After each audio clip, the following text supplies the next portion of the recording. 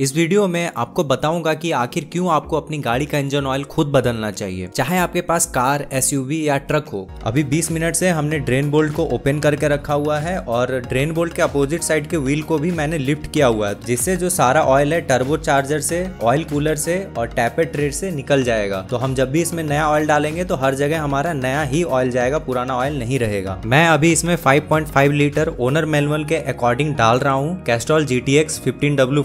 engine भी seize होता है अगर पुराना ऑयल और नया ऑयल मिक्स हो जाए तो ओल्ड ऑयल का पार्टिकल ज्यादा भारी होता है तो जब हम गाड़ी को चार से पांच दिन के लिए खड़ी करेंगे तो नीचे में धीरे धीरे वो जम जाएगा और स्लज बन के pump oil jet oil cooler को चौक करता है और ऑयल सप्लाई डाउन हो जाएगा जिसके वजह से इंजन का crank shaft bearing piston ring sleeve tappet valve और टर्बो चार्जर को खराब करता है इसलिए अपनी गाड़ी का इंजन ऑयल खुद रिप्लेस करना चाहिए